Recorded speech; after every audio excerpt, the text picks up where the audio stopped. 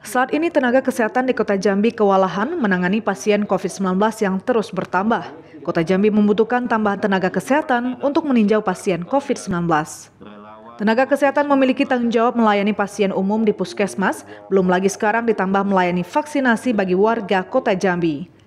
Berdasarkan data tim Satgas Kota Jambi, saat ini setidaknya ada 200 lebih pasien yang melakukan isolasi mandiri di rumah dan memerlukan pengecekan kesehatan. Tugas mereka nanti memantau kondisi fisik, tekanan darah, serta saturasi oksigen pasien COVID-19. Mengawasi pasien-pasien COVID yang saat ini lagi isolasi mandiri. Ada lebih kurang sekitar 250 lebih berada di rumah dalam uh, kaitan isolasi mandiri. Kenapa? Karena tenaga kesehatan Kota Jambi yang berada di puskesmas saat ini sudah kewalahan dalam arti kata kewalahan karena mereka juga mempunyai tugas dan tanggung jawab melayani masyarakat umum, ya, pasien umum di puskesmas tersebut. Mahasiswa Akbar Garuda Putih ini nantinya akan menjadi sukarelawan COVID-19 di kota Jambi selama tiga bulan ke depan.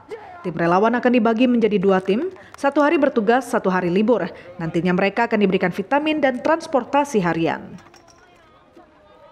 kebetulan uh, mereka sudah juga punya kemampuan karena di semester akhir ya jadi bisa untuk membantu uh, ya mudah-mudahan dengan masuknya mereka mempercepat proses penyembuhan pasien COVID yang ada di uh, kota Jambi.